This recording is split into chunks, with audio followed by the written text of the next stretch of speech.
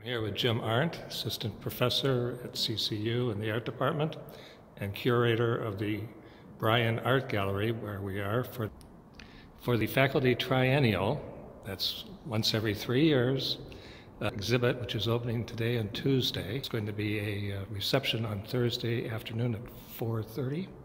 So tell us uh, a little bit about the exhibit, Jim. Well, what's interesting about a faculty triennial is it really brings together artists who are normally busy showing their artwork throughout the country. And so we have a chance now here to harvest the professors that are at Coastal and bring them all together so that we can see the different types of artwork that they're currently engaged in. We do this every three years to provide our students with an insight into how their professor's studio practice works. That way, on the course of their education, they can make sure to see their professor's work at least once. So what we have on display are many different types of techniques by the prestigious professors who teach here at Coastal. We have works in sculpture, works in painting, works in printmaking, and works in more uh, contemporary materials like 3D printing. So there's a little bit of variety to technique, there's a little bit of something for everyone, and it's a really beautiful show that we like to bring to our community.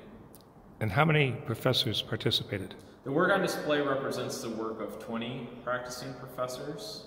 And so in addition to their teaching duties, they're expected to be professional artists. And so this is a sampling of the 20 individuals' work on display.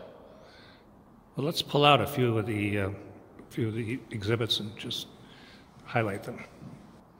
Our visiting professors, like Brian Rapp, bring new ideas to the program Brian's work is figurative and deals with human ailment and uh, our abilities to move.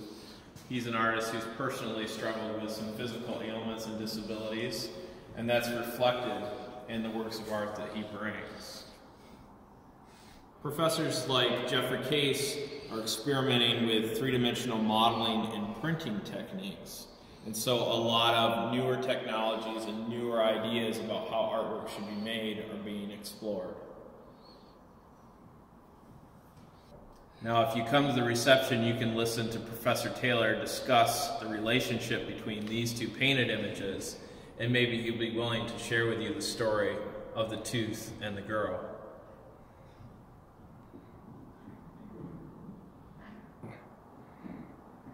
Please join us Thursday at 4.30 for a reception where you can meet many of the artists and ask them about the artworks on display. It will be free and we'll have some refreshments available.